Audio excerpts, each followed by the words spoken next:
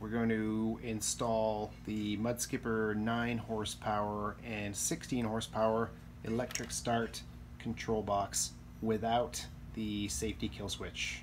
Uh, first of all, we've loosened, pre-loosened these bolts up just to make things a little quicker on the video.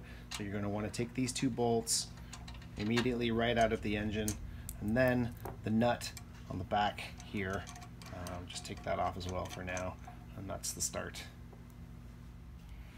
So we just reinstalled the two screws on the top and the bottom of the control box, just finger tighten them. They're 10 millimeter. Uh, and then we can just use a, a ratchet here to tighten them up a little bit, just so they're snug. No need to over tighten them. That'll hold on there nicely. And find this uh, pre-attached black wire here and just disconnect those two. And then midway down the top portion is a little black clip here. We're just going to press this clip up into that hole on the back of the electric start and that holds that wire uh, in place nicely.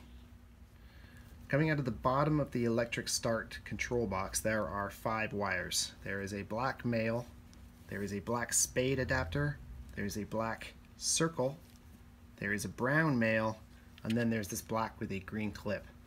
To the top of the wire we just snapped into place we are going to attach the black male.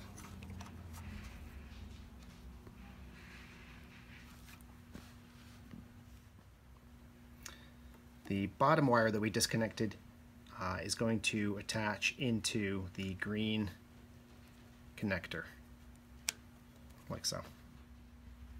The ring on the back is going to go to the back of the solenoid here, and then we are just going to um, attach that nut back onto the back of the solenoid, and then we can tighten that down at a later time.